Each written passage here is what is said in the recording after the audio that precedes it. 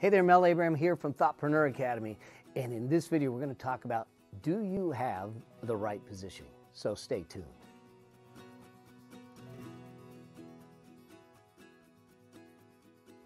It's really simple. The top people in your niche and the people you follow online all have one thing in common. And it's that one thing that allows them to sell and do it effortlessly.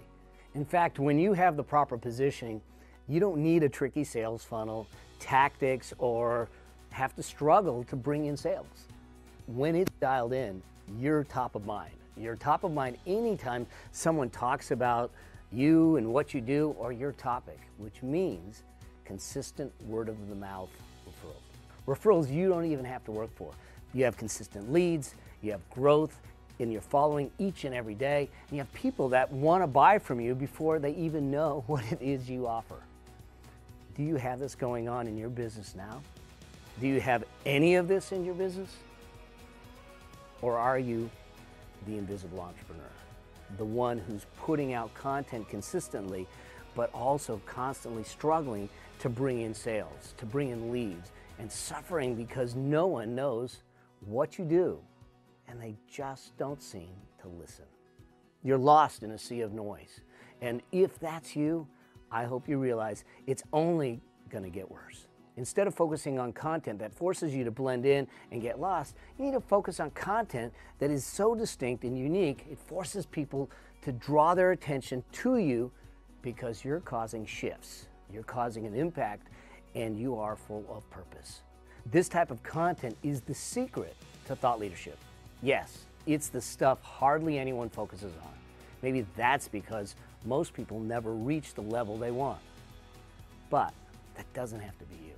You can focus on creating your own unique IP, your own frameworks, and your own unique content, starting with distinction. So let's break this down in a process for you. And how do you use distinction to position you and your content at the top of the niche in a way that pulls in your audience? So, one of the first things that we need to understand is that in order to be distinct, in order to be distinct, we need to have what I call the three uniques. And when we look at this, the three uniques are, are all about first understanding what your unique genius is. Okay? What is it that you know that no one else knows, or that you know it in a way that no one else knows it? What is it about you that's your unique DNA, just like a fingerprint, your unique fingerprint that is your brilliance that no one else is duplicating? So, understanding first your unique genius.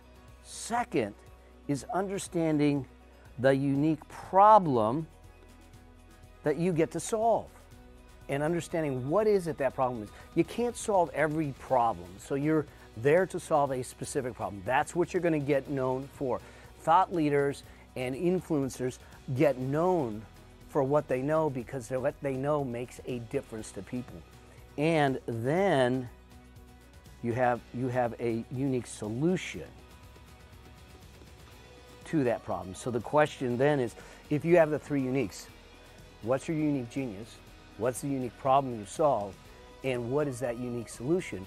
The next piece is how do you attach it to the marketplace? In other words, how do we reach them? And, and this is a, a, a model that I was taught by a good friend of mine, Taki Moore, but it, it is amazing when you connect it to the marketplace. And it's something that we call the four forces. And what we're really looking at is now you understand how you're unique. Let's look at your marketplace and figure out how to bridge that. Because your market is dealing with four forces, four things that are driving them to make the decision to follow you, to buy from you, to talk about you, and to champion you.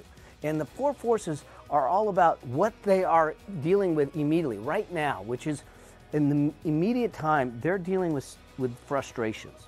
What are the frustrations that they currently have that keep them up at night, that are, they're struggling? Is it cash flow? Is it health? Is it wellness? Is it relationships? What is it immediately that they're, they're dealing with? But also, they're dealing with something out in the future.